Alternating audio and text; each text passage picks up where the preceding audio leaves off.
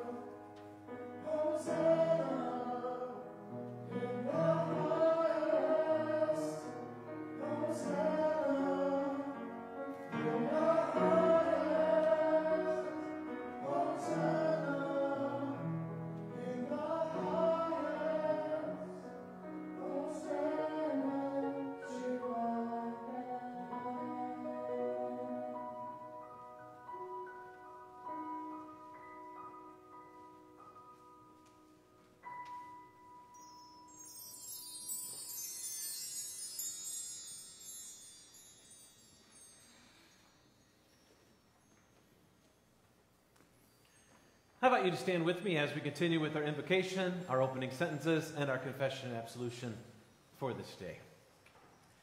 In the name of the Father, and of the Son, and of the Holy Spirit. Amen.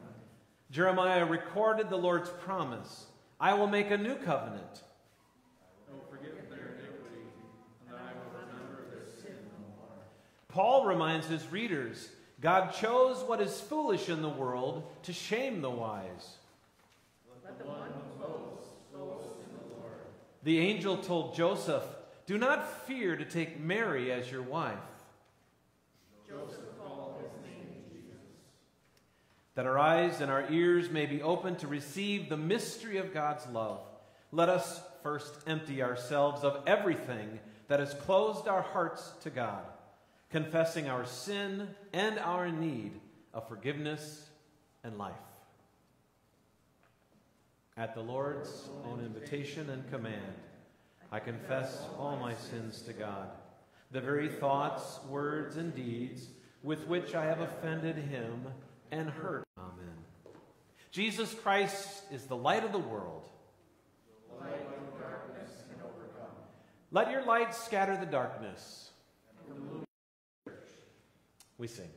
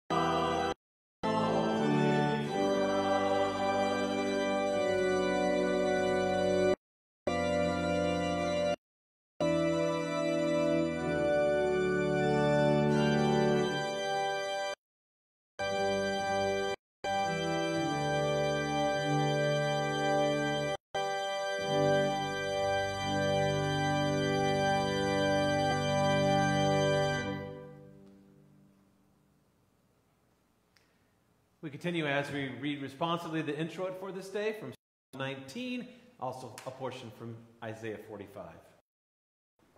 Shower, O heavens, from above, and let the clouds rain down righteousness. Let the earth open, that salvation and righteousness may bear fruit. The heavens declare the glory of God, and the sky above proclaims his handiwork. In him he has set a tent for the sun. Comes out like a bridegroom leaving his chamber, and like a strong man runs with joy. Rising is from the end of the heavens, and its circuit to the end of them, and there is nothing hidden from it.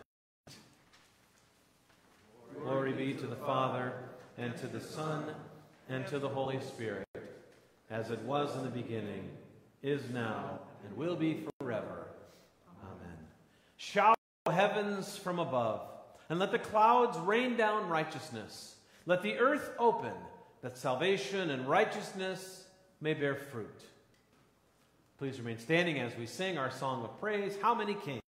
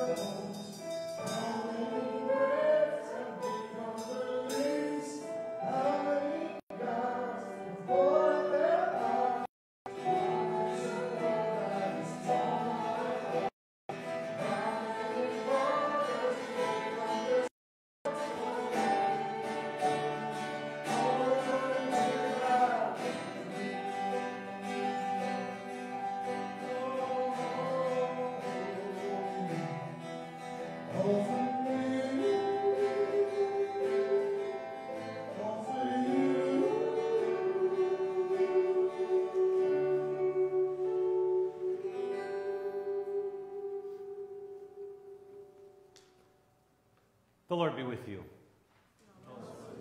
Let us pray. Stir up your power, O Lord, and come and help us by your might, that the sins which weigh us down may be quickly lifted by your grace and mercy. For you live and reign with the Father and the Holy Spirit, one God, now and forever. Please be seated as we continue with the readings appointed for this day.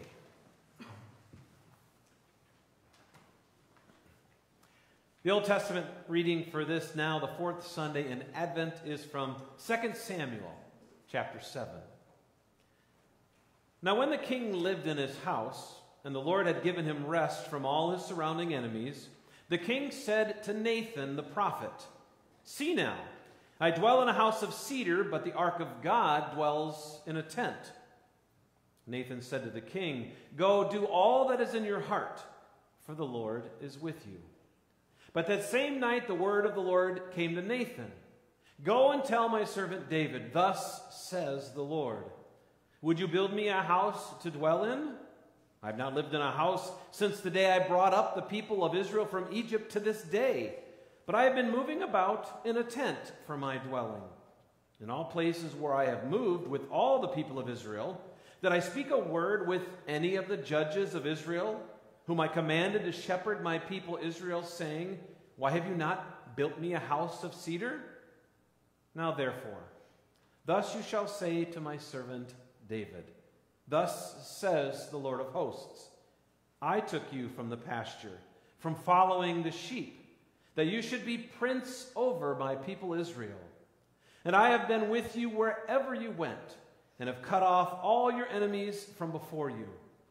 And I will make for you a great name, like the name of the great ones of the earth.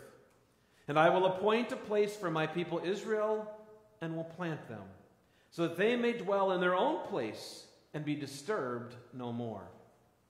And violent men shall afflict them no more, as formerly, from the time that I appointed judges over my people Israel.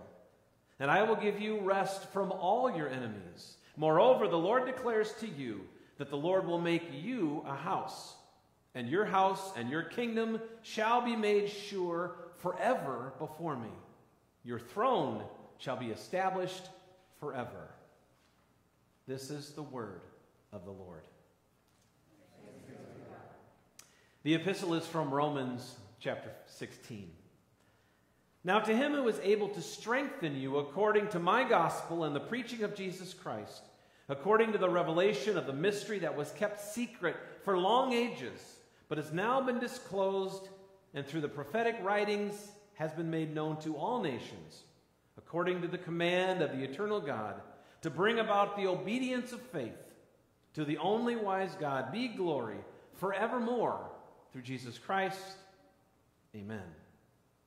This is the word of the Lord. I invite you to stand with me in honor of the Holy Gospel. The Holy Gospel according to St. Luke, the first chapter. Glory, Glory to you, Lord. In the sixth month, the angel Gabriel was sent from God to a city of Galilee named Nazareth, to a virgin betrothed to a man whose name was Joseph of the house of David. And the virgin's name was Mary. And he came to her and said, Greetings, O favored one, the Lord is with you. But she was greatly troubled at the saying, and tried to discern what sort of greeting this might be. The angel said to her, Do not be afraid, Mary, for you have found favor with God. And behold, you will conceive in your womb and bear a son and you shall call his name Jesus. He will be great and will be called the Son of the Most High. And the Lord God will give to him the throne of his father David, and he will reign over the house of Jacob forever, and of his kingdom there will be no end. Mary said to the angel, How will this be, since I am a virgin? And the angel answered her, The Holy Spirit will come upon you and the power of the Most High will overshadow you. Therefore, the child to be born will be called Holy, the Son of God. And behold, your relative Elizabeth, in her old age, has also conceived a son. And this is the sixth month with her who was called barren. For nothing will be impossible with God. And Mary said, Behold, I am the servant of the Lord. Let it be to me according to your word. And the angel departed from her. This is the gospel of the Lord. Praise, Praise to you, Christ. Please be seated as we continue by singing together the song of the day.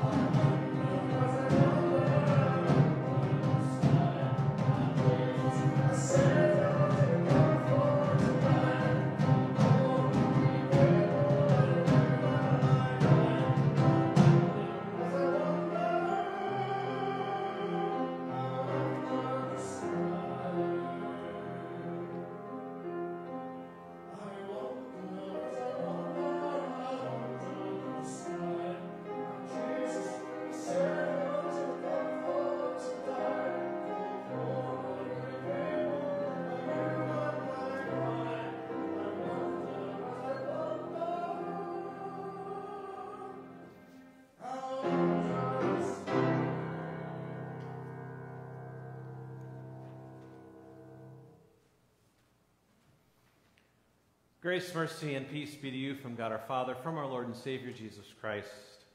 Amen. Text that serves as a basis for this morning's meditation comes to us from the gospel lesson read just a few moments ago, where we have this incredible scene the angel Gabriel coming to Mary to, to let her know what is to come. And he came to her and said, Greetings, O favored one, the Lord is with you. But she was greatly troubled at the saying and tried to discern what sort of greeting this might be. The angel said to her, Do not be afraid, Mary, for you have found favor with God. And behold, you will conceive in your womb and bear a son, and you shall call his name Jesus. So far, the words of our text for us this day. The name of Jesus Christ, who was, who is, who is to come, Emmanuel, God with us, even on this day as we prepare for Christmas Eve and Christmas Day and the, and the joy to follow, dear friends, friends in His name. Do you promise to tell the truth, the whole truth, and nothing but the truth, so help you God? The answer that is expected is yes. At a marriage ceremony, vows are made and, in a sense, promises are made to love and to cherish, to honor sickness and health, for richer, for poorer, until death parts us. I do. Yes, I promise. Those are two promises that are made that are indeed quite serious. And with a little sarcastic tone, I put another one out there as well. The one that sometimes the smaller ones among us like to use, and that is the all important pinky promise. Do you pinky promise to be my best friend? Do you pinky promise to not tell anyone that I like Tommy or Sarah? Promises, promises. All of us have made them. Probably all of us have received them. And yet, how often are promises broken? I promise I won't miss your game. I promise I'll never say anything to cause you harm. I promise never, dot, dot, dot. Or I promise to, dot, dot, dot. Parents to children, children to parents, spouses one to another, in our workplace, in our home, promises are all over the place. And yet, so often, unfortunately, some, maybe many, of our promises given or received do not come to fruition or actually occur. Even though Genesis at the beginning of Scripture doesn't say Adam and Eve saying, I promise, they were commanded not to eat of the fruit in the center of the garden, the tree of, of life, the tree of good and evil. And yet, as we know from what Scripture teaches, they disobeyed. They didn't, in a sense, keep the promise. And because of that, promises were made and broken through generation after generation. In the Old Testament, we find time after time after time the children of Israel promising to follow their God, only to get distracted, to get scared off, to be interested in other gods or other things. Let's run after this. Let's run after that. Sometimes they're just flat out rebellious. They don't want to do what they promised to do, how they promised to live, how they promised to worship. What a past. It wasn't just then, it continues into the now. We make promises, maybe a lot, and sometimes we do not fulfill the promises that we give. And yet, on this day, on the precipice of Christmas Eve, as we approach the manger to once again receive the Christ child, we have this glorious announcement God is keeping his word. The promises that God made to the children of Israel, and even all the way back to Adam and Eve in Genesis 3, is going to be fulfilled. Broken promises everywhere, but not our God. He is sending his Son to seek and to save all of us who have broken promises. All of us who are simply broken. 2020 is not just the only year where we've had struggle and strife, where we've made promises and we can't live up to them. Certainly, they might be a little different this year because of the circumstances we're in, but we just didn't fall short in 2020. It's been a part of our DNA, like I said, ever since Adam and Eve. We teach, we believe, we confess that we are conceived in sin, original sin. That's a part of who we are. And yet, that's not where God wants us to stay.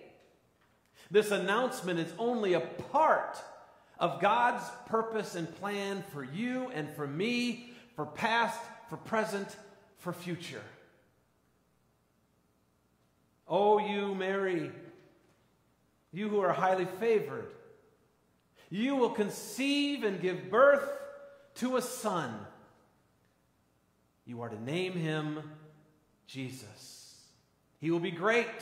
He will reign over his forefather, King David. And oh, yeah, his kingdom will never end.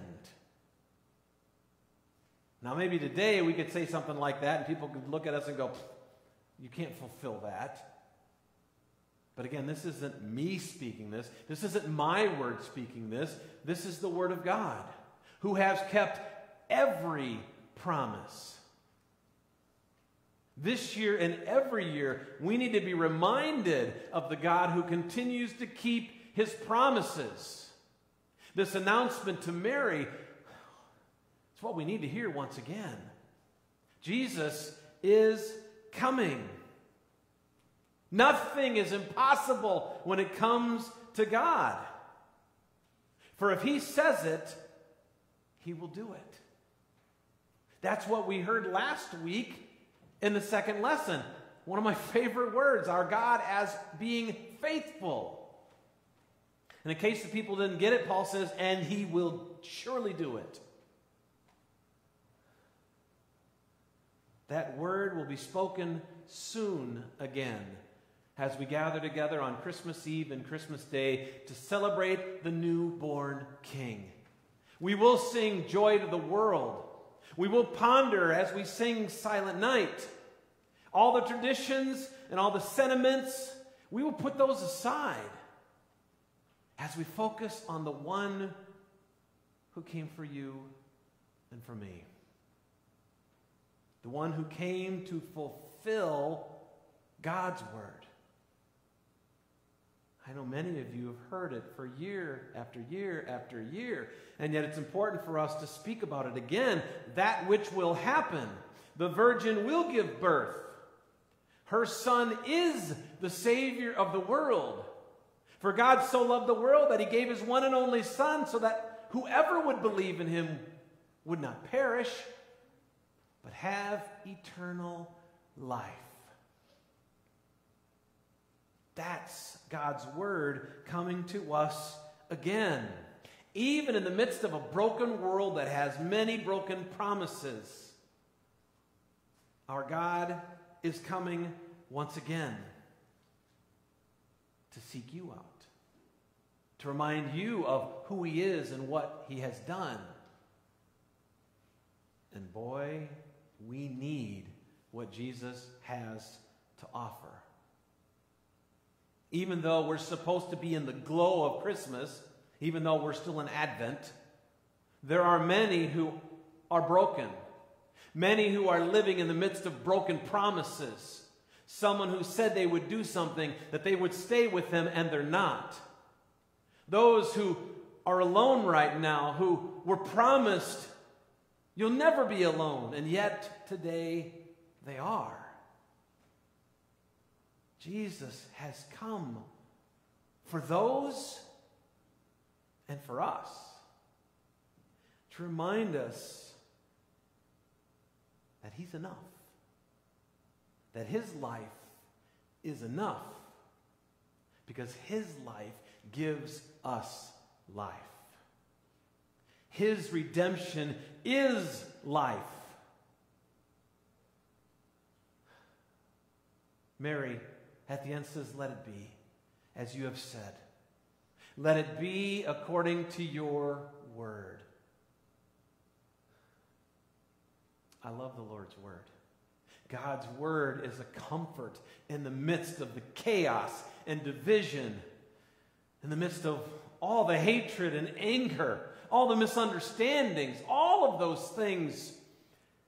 It's a comfort as we can rely upon the one who was, is, and is to come, the one who has given us the promise of life everlasting, the one who has lived the life in our place, the life we couldn't live. Because we're a broken people, the one who has overcome the grave. And as Scripture states, continues to reign even to today. And tomorrow. And forever. That's the God that Mary says, Let it be as you have said. Let it be according to your word. Who am I? Who are we? Indeed, we're broken people.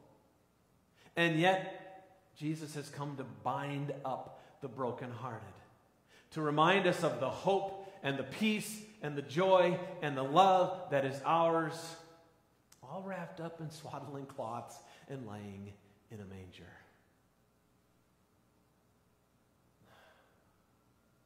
I pray that's our prayer as well as we approach Christmas. Let it be, O Lord, according to your word. Humbly state, let it be, O Lord. For your word is perfect and holy and is always about what's best for me. It's never about hurting or harming, but it's always about bringing me closer to you and to your love.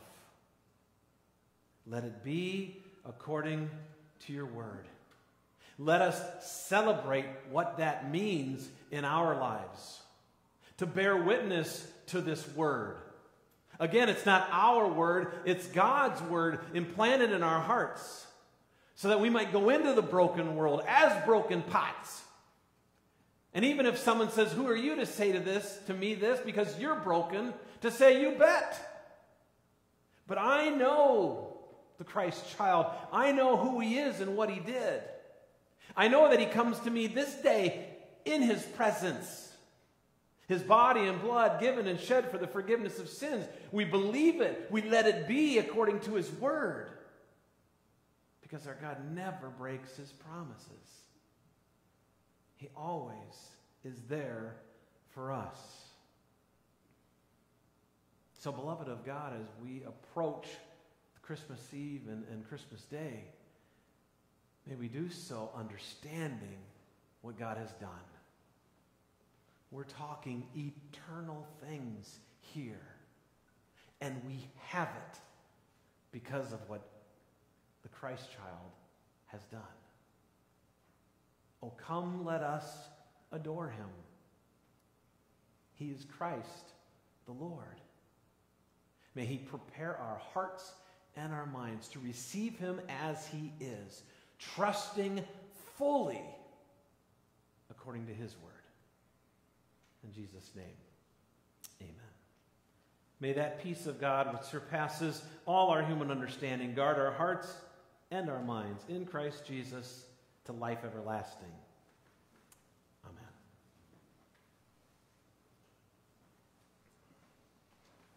I invite you to stand with me as we continue proclaiming the gifts of God with the words of the Nicene Creed.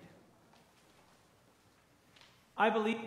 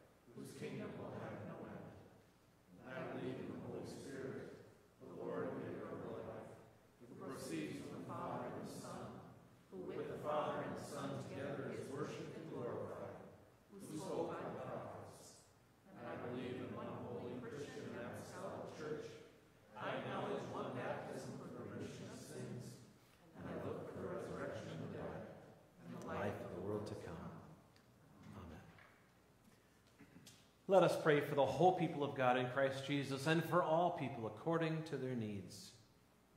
Almighty God, as we draw closer to the grand celebration of the incarnation and birth of your beloved Son, our Lord and Savior, Jesus Christ, We thank you for making known the mystery of your love from the very first promise to Adam and Eve, through the continued witness of the holy prophets, apostles, and evangelists, and finally through your living voice through the ministers of your church to this day.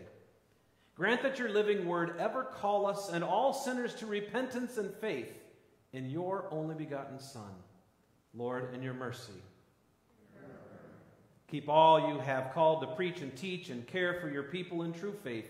Guard them against the attacks of the evil one and give them health and joy in their ministry. Lord, in your mercy. Send your Spirit over the whole world that those who lead in, in the authority of government acknowledge your laws and will, making for times of peace, that we may live faithfully in safety. Lord, in your mercy. By your holy word and sacrament, strengthen us to obedient living. Send your grace, mercy, peace, and love to surround our families. Inspire those of various vocations in the world. Comfort, defend, and heal all those in times of illness or distress. Oh Lord God, we ask your blessings upon Carl and Catherine. Be with Bob, Eunice, Rich, and Nancy. Be with these your servants and also the family of Dwayne Neitzel. Be with these your people and all those we name before you in our hearts at this time.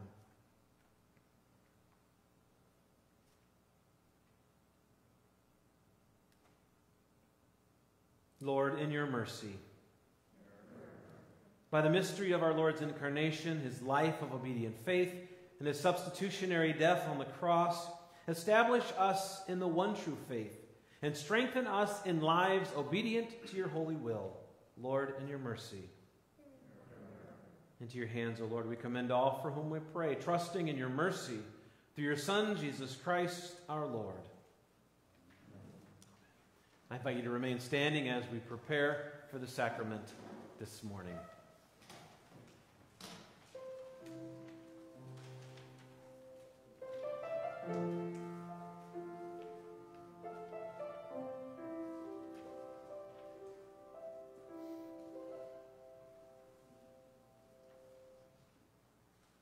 The Lord be with you. And also with you.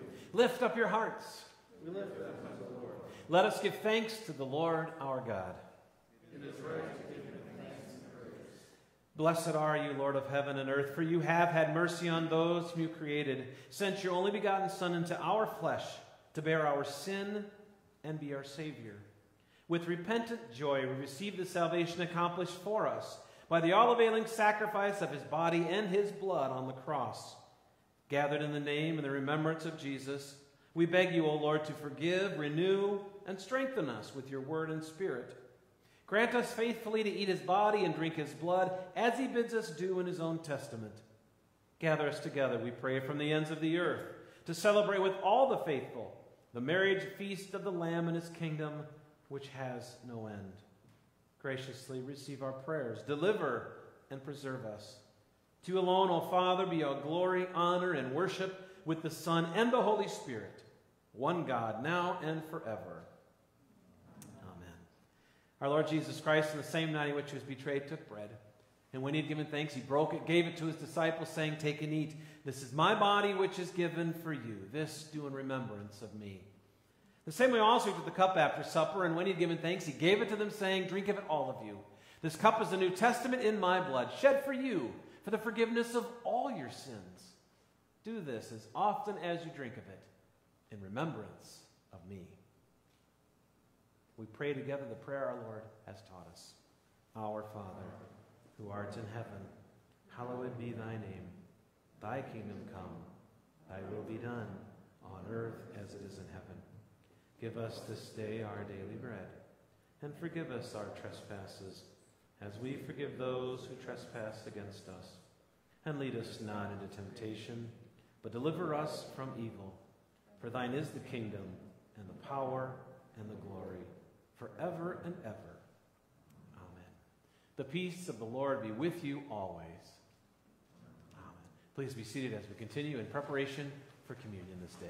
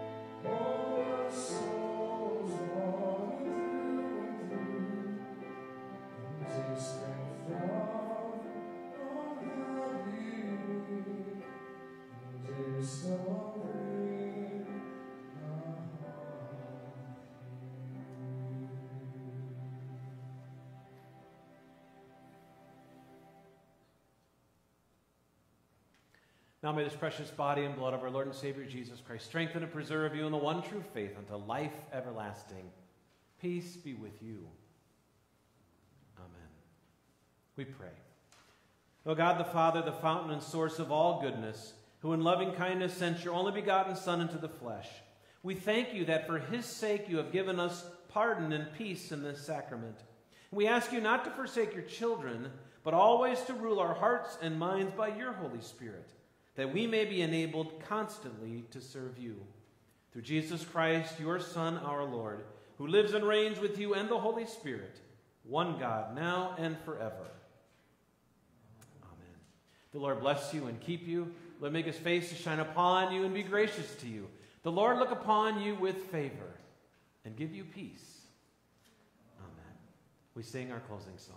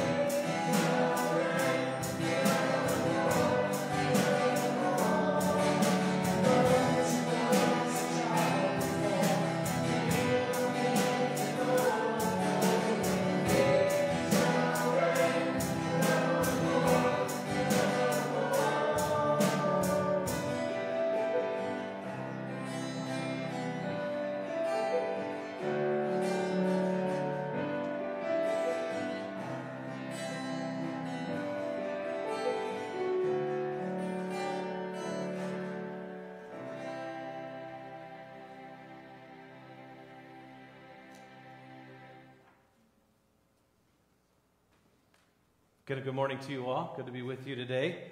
Um, you'll note in your uh, calendar we do not have any more Wednesday Advent services, so we do not have one on Wednesday at noon and 7 o'clock because Christmas Eve we will have services at 4, 7, and 10, and then also Christmas Day at 9 a.m. So 4 o'clock family style, 7 o'clock, um, a little more normal, traditional, what we're we're, we're accustomed to over the years. 10 o'clock, a candlelight service with lots of our little carols that we like to sing, and we'll have the place all decked out and dark, and uh, it'll be a nice little setting for that. And then a full blown, uh, joyous Christmas Day morning here as well. All of those will have communion included, and so um, opportunity, many opportunities to come together and worship. Um, all of them would be live streamed as well, and also we're uh, asking for people to let us know if they'll be here for those services so we can make sure um, that we've got you know plenty of space and, and all of that as well. So appreciate that. Uh, a couple other announcements that you have within you already, which you'll be seeing on your way out today. Um, One City thanks us definitely for all the, the clothing and things that were brought in. Thank you for your um, gifts that have come in this week. We had a quick need last week for uh, some assistance with the family, and uh, we had such an abundance getting brought in that uh, we have another individual and family that didn't ask us for anything, but, but has always been some struggles. And so, uh, because of your generosity, I'm going to surprise him with one of those gift cards as well. So, definitely a need. Um, he's just not one to ask. So, um, so I'm thankful for that for sure. Um, lots of food already gathered to fill some uh, Christmas baskets. So, um, if you're coming this afternoon for our 3 p.m. lessons and carols, you can, if you haven't done that, you can go get something, bring it back. Um, with that segue, we're thankful to be able to offer that up this afternoon at 3 o'clock right here, uh, service of lessons and carols. And again, as you all know, with all the dynamics of the past month or so of not being able to do anything and then try to get the choirs and the, and the bells back together a little bit, um, we're just so blessed to be able to even offer this. We're thankful that in the midst of so many things being limited, that we can do this this afternoon. So um, pray you're here or watching along as, as we do that. Anything else? If not, God bless you as you continue to serve Him, as you look forward to the wonderful words once again on Christmas Eve, trusting, without a doubt, the fullness of God coming in the flesh, keeping God's word. God's peace as we do that.